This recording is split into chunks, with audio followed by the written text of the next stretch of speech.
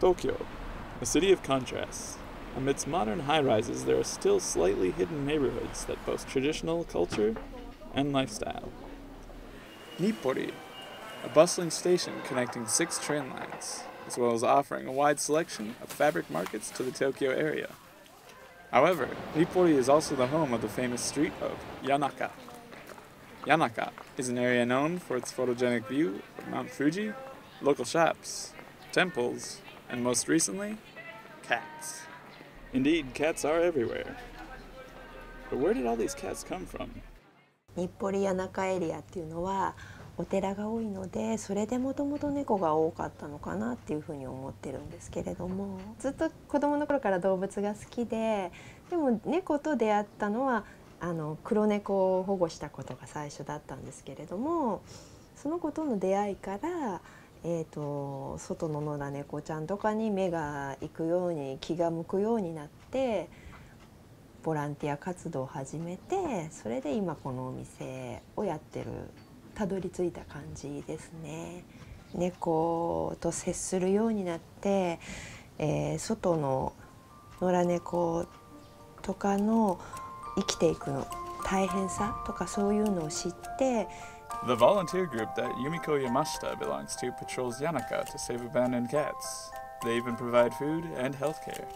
パトロールっていうのの一番大事な仕事としては捨て猫を防止あとは、えー、地域の猫にご飯をあげてきれいにお掃除をして苦手な人にも不快感を与えなるべく最小限にしようっていうこととあとは不妊手術去勢手術ですね。それがメインだと思います、はい、One stray cat that has risen to fame is Mi-chan, who was rescued by Yumi Kondo and later became her co-worker. その道の 道の途中って言ったら変ですけど、まあ、道の途中であの落ちてたのがみーちゃんででまああの小さすぎるっていうこともあったんでまあしばらく保護してて今に至る？里子に出すつもりだったんですけどさすがに小さい頃から見てると可愛くなっちゃって出せなくなっちゃいましたね。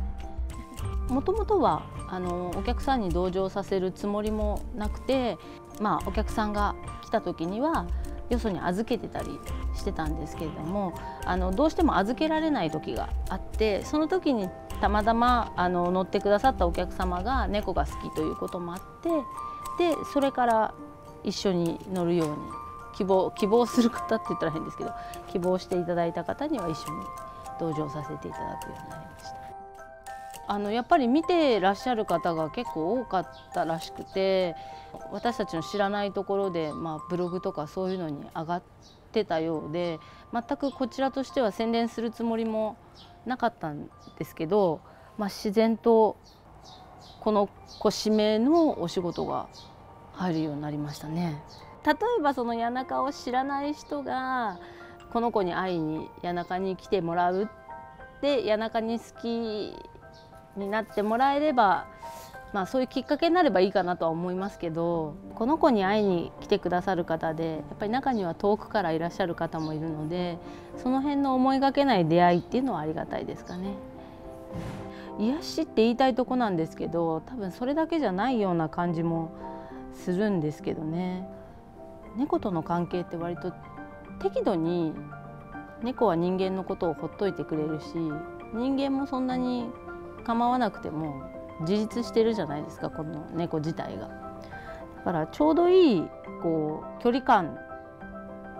が一番その今の人たちにとっていいんじゃないかなと思うんですけど。You can see this relationship if you look closely around Yanaka. There are various cat statues within the town. 7匹猫がいるの知ってます作り物の猫ですねあの学生さんが作ったものなんですけれども芸大の方がそれが7匹いたりとかするんですよよく見るとだからもう本当街を挙げてっていう感じですね Japanese people have long cultivated a superstitious relationship with cats. It is not uncommon to find a maneki neko in every shop. A practice traditionally known to bring good luck. Maybe these stray cats have brought good fortune to the old fashioned district of Yanaka.